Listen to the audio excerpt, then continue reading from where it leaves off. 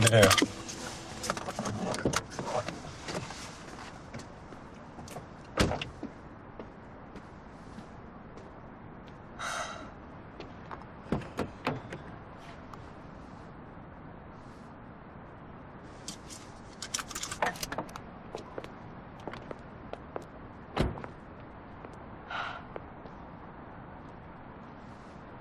여긴 왜?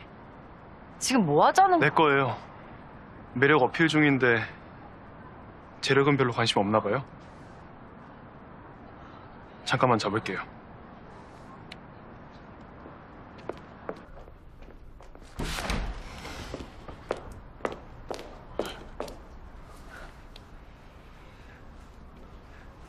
안 늦었지?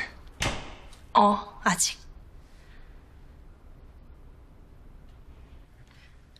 오면 놓고 할 거야.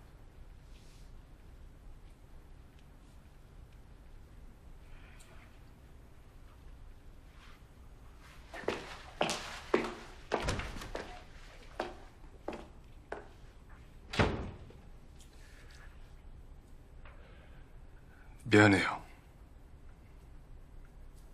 이런 식이라. 그래서 내가 여기서 뭘 봐야 되는 건데.